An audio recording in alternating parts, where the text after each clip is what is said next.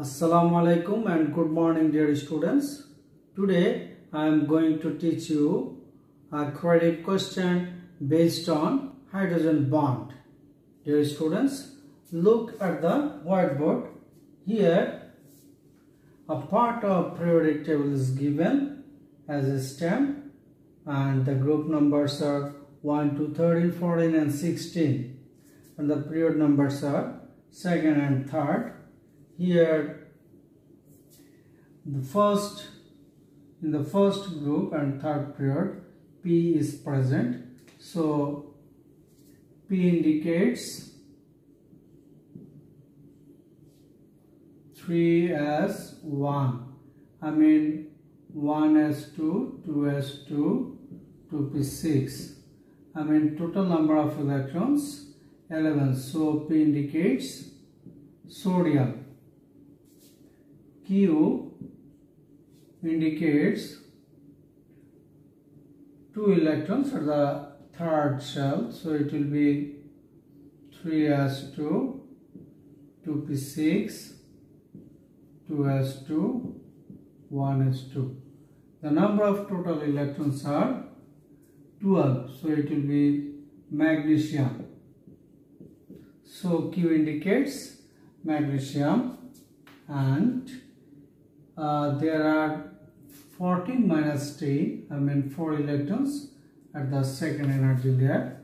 So it will be 2s2 2p2 4 electrons at the second energy layer. And the first energy layer it will be 1s2 total electrons 6 I mean it will be the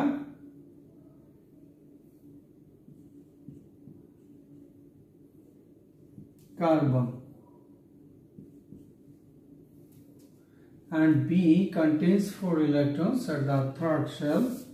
So it will be 3s2 3p2 2p6 2s2 1s2 10 12 14 silicon.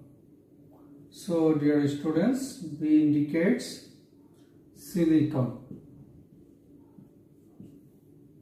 And at the last shell of X there are 16 minus 10 I mean 6 electrons. So it will be 2s2 2p4 and 1s2 4 8 oxygen. And Y indicates third energy layer contains 6 electrons so it will be 3s2 3p 4 2p6 2s2 1s2 10 12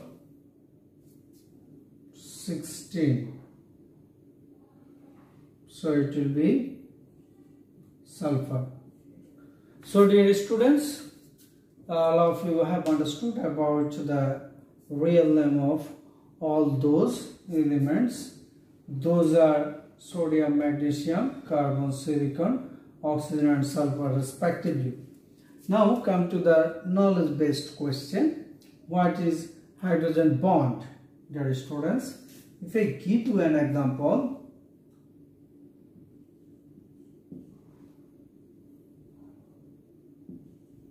water H2O and the structural formula of water is here the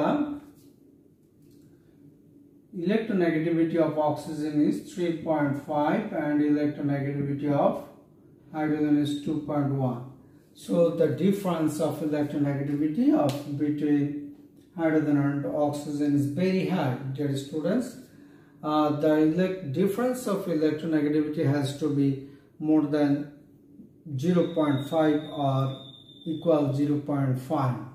In that case, dipole is created. So dear students, it can be understood easily. A dipole is created in the water molecule as oxygen is more electronegative element. Oxygen pulls the bond pair electron to itself as a result, oxygen becomes negatively charged and hydrogen becomes positively charged. I mean a negative pole and a positive pole are created in the water molecule. One, mm, so this is our dipole molecule. Dipole molecule, I mean polar molecule. Polar molecule. When two or more polar molecules come closer that time hydrogen is bonded with the negative pole of another polar molecule to form a weak bond. This weak bond is known as hydrogen bond. So dear students, actually I would like to give you the definition of hydrogen bond by replacing actually I would like to show you the definition of hydrogen bond by using a by using an example. Here I have given you an example of as water. So dear students come to the question number B. Comprehensive type question. Hydrogen fluoride is a polar compound. Explain it. Hydrogen fluoride. Normally you know that hydrogen fluoride is a covalent compound. That's why hydrogen is bonded with fluorine by the help of covalent compound. We know that the electronegativity of hydrogen is 2.1 and the electronegativity of fluorine is 4.0. So the difference of electronegativity is high, I mean it is more than 0.5, that's why the bond pair electron is pulled by fluorine, I mean more electronegative atom. As a result, more electronegative atom becomes partially negatively charged and hydrogen becomes partially positively charged. I mean, uh, dipole is created in this molecule. That's why this is a polar molecule or polar compound.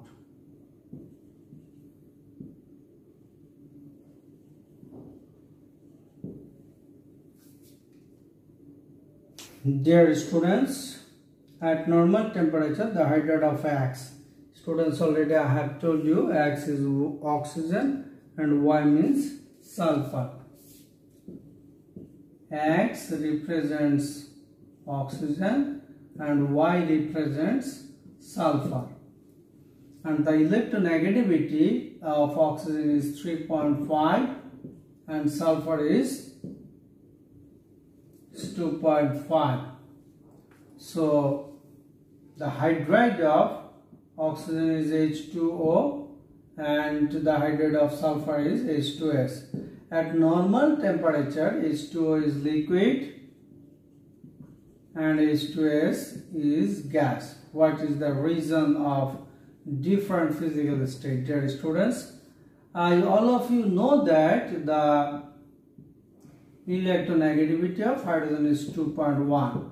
So if I consider water, the electronegativity of hydrogen and oxygen is the difference of electronegativity of hydrogen and oxygen is very high and that is more than 0.5 that's why hydrogen becomes partially positively charged and oxygen becomes partially negatively charged. I mean a polar molecule is formed when two or more water molecules come closer, the hydrogen pole is attracted to the negative oxygen pole to form a weak bond. This bond is known as hydrogen bond.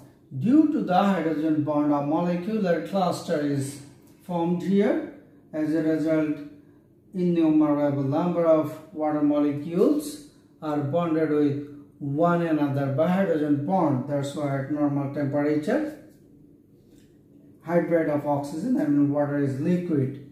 But if you consider hydrogen sulfide as there is a less difference of electronegativity between hydrogen and sulfur and it is less than 0.5 that's why no dipole is created in the hydrogen sulfide. I mean hydrogen sulfide is a non-polar molecule and in the non-polar molecule there is no scope to form the hydrogen bond. That's why hydrogen sulfide molecules can move freely as an individual molecule at normal temperature. So hydrogen sulfide is a gas at normal temperature.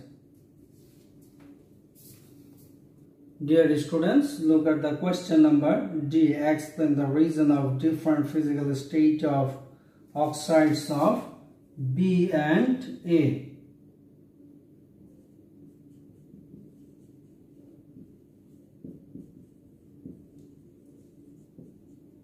Dear students, it can be understood that A and B are carbon and silicon respectively. And the oxides of carbon is carbon dioxide and silicon is silicon dioxide.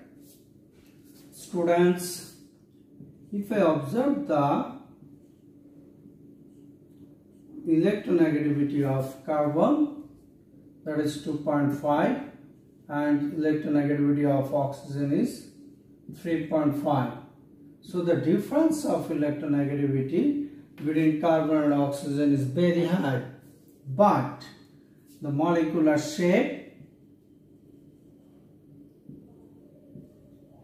molecular shape of carbon dioxide is linear.